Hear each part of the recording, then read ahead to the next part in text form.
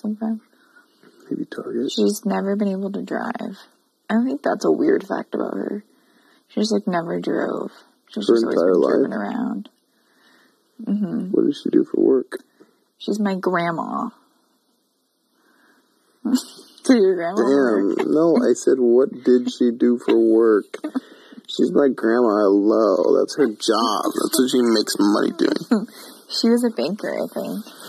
You Oh. think? How don't know? Like, she's been a retired grandma. She's this my grandma.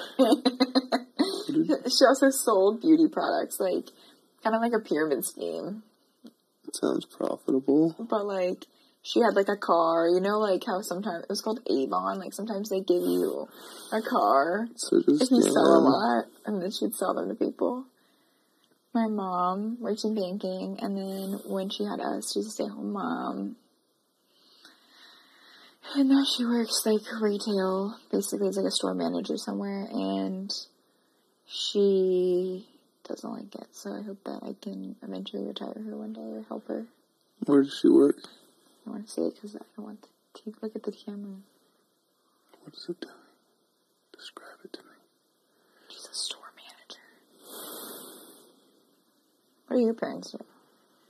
Mm, my mom is basically a stay-at-home mom.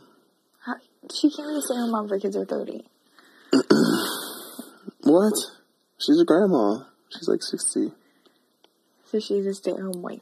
No, she like works, uh, she's just like little kids art and then works as like an office administrator or person for like, um, and then my dad works for a military contractor called Northrop Grumman. That's cool. No, Lockheed Martin, sorry.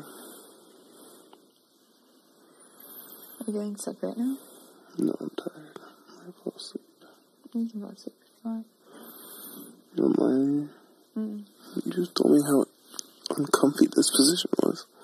This is comfy for you? Mm-hmm. Is this comfy for you? Mhm. But not really. I'm gonna put this lip